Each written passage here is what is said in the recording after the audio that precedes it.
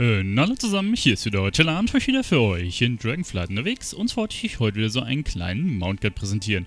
Heute geht es um ein schickes Mount, welches wir uns über Mythic Plus erspielen können. Und zwar ist das dieses Mount hier, das Inferno äh, Panzerdon, so umschimpft sich das. Und ja, das Model kennen wir ja schon aus der ersten Season, aus Dragonflight. Mount Special können wir auch mal machen.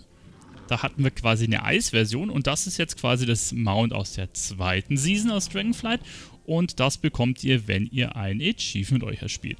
Und zwar schimpft sich das Achievement, beziehungsweise ist es eine Heldentat, also ein Erfolg, den man äh, nur temporär erspielen kann und der auch keine Punkte bringt. Das Achievement schimpft sich einmal Schlüsselmeister von Dragonflight Season 2 und dafür müsst ihr eine Wertung von 2000 im, ja, der M Plus Season erspielen.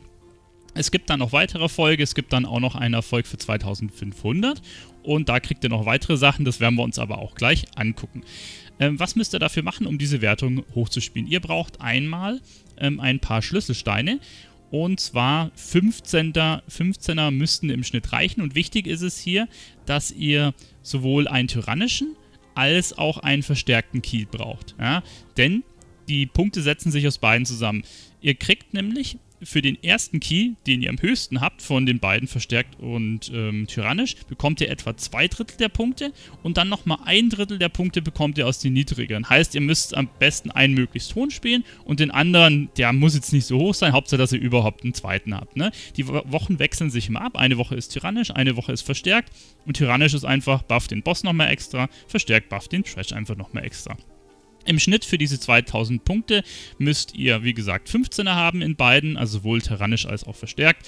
Es gehen auch ähm, depletete Keys, also wo ihr das nicht in dem, in dem ja, Zeitlimit quasi schafft, um dementsprechend diese Punkte zu erreichen. Wenn ihr dann auf äh, ja, einem höheren Niveau seid, so 18er, 19er im Schnitt und die 2500 habt, dann gibt es natürlich auch noch hier einen weiteren Erfolg und zwar den Schlüsselstein Meister oh, äh, nee, Schlüsselstein hält. Und für dieses ist es dann so, dass wir dann auch noch ein bisschen extra ähm, T-Mox bekommen. Und zwar gibt es da ein Paket an ähm, ja, Transmog-Items, die ihr euch dementsprechend dann auch transmoggen könnt. Und das ist einmal das Set aus dem aktuellen Raid mit ein bisschen extra Effekten drauf. Sieht ganz cool aus.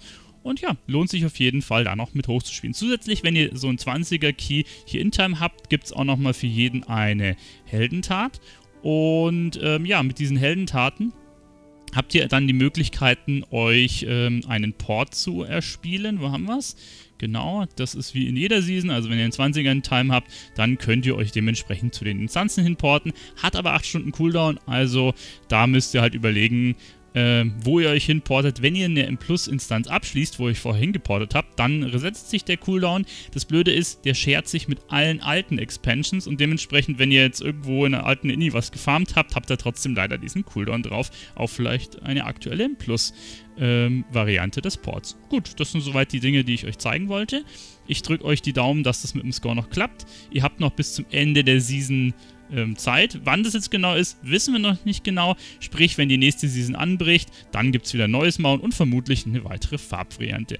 Zum ähm, kleinen Überblick ähm, können wir jetzt hier mal Schlüssel eingeben und ihr seht, hier haben wir das aus der letzten Season und dann gab es natürlich auch in äh, ja, Shadowlands hier aus den verschiedenen Seasons die Mounts und eins aus äh, hier Battle for Azeroth.